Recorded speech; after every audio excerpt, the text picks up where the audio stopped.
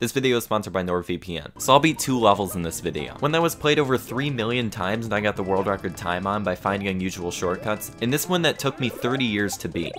So this level is supposed to be a linear platforming level, but the creator left a lot of opportunities for shortcuts, like this tight jump that saves 7 seconds over the intended route. In addition to the 5 shortcuts I'll perform throughout the level, I also have to maintain tight movement navigating the saws to save as much time as possible. This next section is a long vertical sequence, but I can make some precise jumps using springs for faster rounds. By throwing the spring against the wall, I can re-grab it after wall jumping to take with me, and I set it here to just barely make it over the saw so I skip a few jumps. Now, I have to follow the intended path again, so I avoid the saws as I make it to the next shortcut. The creator always places two springs to make the jumps easier, which I can use to my advantage by grabbing one of them to drop on the other for a higher jump, and I continue making quick jumps to the end of the section. Now, the next part has the hardest shortcuts to pull off and save 5 seconds in total. You're supposed to follow the arrows and coins down here, but you can actually jump off the edge of this block to make it over the saw. And now, I can twirl over and grab a spring for a midair spring jump and land on this edge, and I precisely jump in between the saws and skip the top half of the level. And with one last jump off the springs, I touch the axe and complete the level, beating the previous world record time by 2 seconds.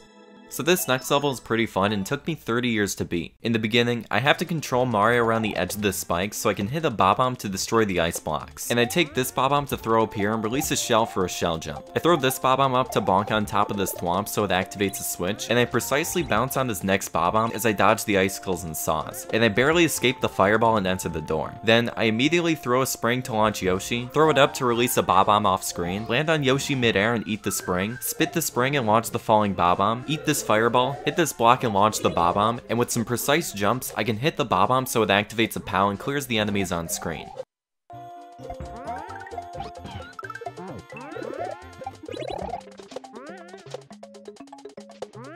Now, I grab this shell in time throwing it for a shell jump, and I grab and throw the Bob-omb, activate the POW to clear out the enemies, and I re-grab the Bob-omb to destroy this ice block so I'm able to enter the pipe. After going through the pipe, I have to collect 5 red coins before the Bob-omb explodes, so I quickly collect them all and blow up the ice blocks, and I enter the key door, which eventually leads to the end of the level.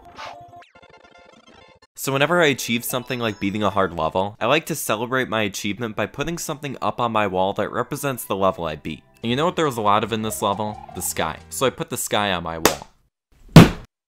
Guys, when I'm searching stuff on the internet, I want to be doing that safely so no one knows what I'm up to. Luckily, there's NordVPN, which hides my IP address and can hide my location. Let's say I can't watch a movie because it's blocked in my country. Boom, I'm in Iceland. With NordVPN, that's no problem. I can watch as if I'm anywhere around the world. NordVPN is the fastest VPN out there, so you can browse the internet quickly while being extra safe. And why is the groovy jazz music speeding up? The jams are too quick. You might be saying, how do I use NordVPN? Sounds complicated. Do I have to plug it in? Nope, you can easily connect with the press of a button and stay protected. With NordVPN's threat protection, they block trackers entirely, help you avoid malicious websites, and prevent you from downloading infected files. And it's super easy to activate. You just go to threat protection and hit the button to activate all those features. Look, I know exactly what you're thinking. You're a little bit hungry and you want to know if NordVPN has double VPN. Yes, they do. You can choose a combination of two countries for double encryption, which makes you even safer. So stop what you're doing, open up your eyes, look at your screen, and click the link in the description to get an exclusive deal today. That's nordvpn.com slash to get an exclusive deal. And there's a 30-day money-back guarantee, so there's no reason not to try it out. And thank you to NordVPN for sponsoring this video.